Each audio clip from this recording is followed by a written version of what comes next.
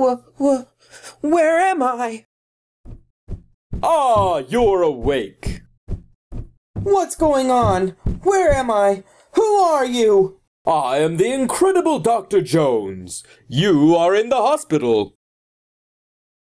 You don't remember, do you? What's the last thing you do remember? Um, I was in the car. I was going to work and. Oh my gosh, I was hit! Right you are. I knew I could prevent long-term damage. Aren't I just wonderful? Wait, I was pregnant with twins. Right again. You have been in a coma for 18 months. By virtue of my incredible skills, both children were extracted by cesarean and are in the care of next of kin. Next of kin?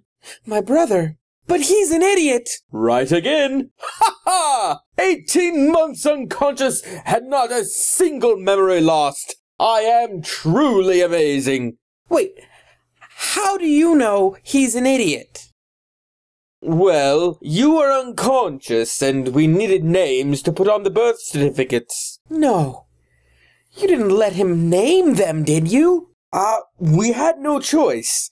State law says that any child born in the hospital must have their birth certificate filled out in the first 24 hours. Fine, fine.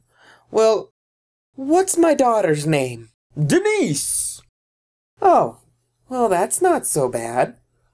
What's my son's name? Uh, Denephew.